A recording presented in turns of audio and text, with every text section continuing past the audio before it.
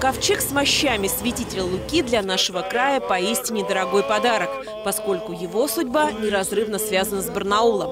В 1923 году святой был назначен епископом Барнаульским.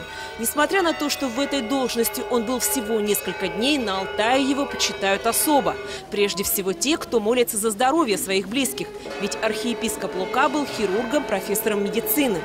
Архиепископ Симферопольский и Крымский причислен к лику святых православной церкви, и его честные останки находятся в городе Симферополе.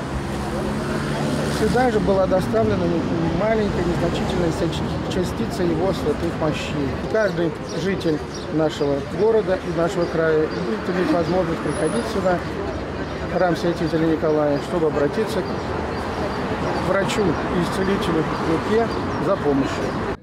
А эту святыню в Алтайский край привезли лишь на время. Иверская икона Божьей Матери родом из Подмосковья. Она была написана российским художником и освящена на горе Афон. После этого, утверждают церковнослужители, начала творить чудеса. К примеру, в нашем крае с ее прибытием связывают падение воды на Оби и начало чудесного исцеления девочки, больной детским церебральным параличом. Якобы после того, как ребенок проехал на инвалидной коляске под иконой, его состояние улучшилось. И врачи предложили предложили начать использовать ходунки.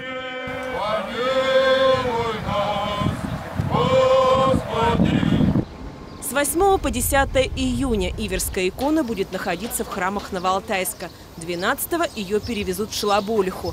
После она отправится в Павловский район и Камень-на-Оби. Ольга Калачева, информационный канал «Город».